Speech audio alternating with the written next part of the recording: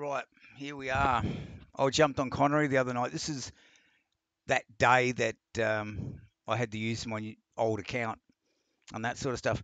And you know what gets me about the whole thing, about everything about this game, is racism is okay.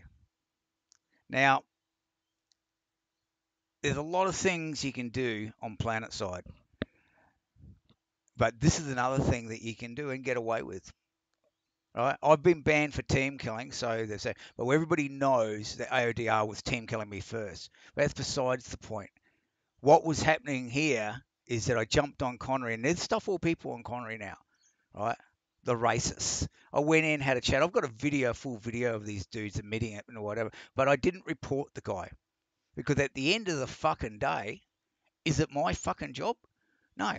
I tell you now, I've got enough shit on my YouTube channel racist shit by players that if I send it to fucking Steam, who's changed their fucking, they have actually changed their format on it, right? If you have a game and it's toxic behavior like racism, the game gets taken off Steam.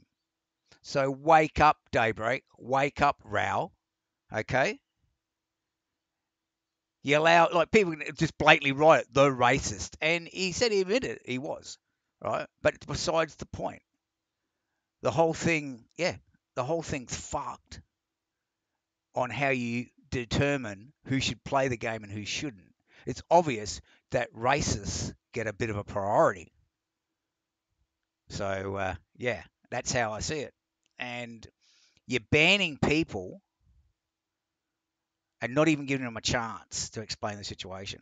AODR started t- Team Killing Me. We've got a video that that'll be going up next.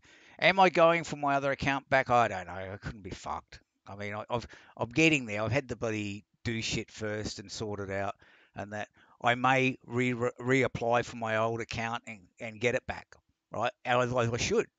Right after I put my next video up, right, I should get it back. It's proof that AOD were teaming and killing us first. Okay, so um, that's the next thing. But yeah, PlanetSide supports racism. You can write shit like this in your fucking squads. No one will do anything. That's by the thing. But I tell you now, you write shit in my fucking outfit or whatever, you're gone. Right? We police our Discord and we police our outfit. And yeah, we just don't tolerate that shit. Any fucking racism, any homophobic shit, that was another thing too. Right?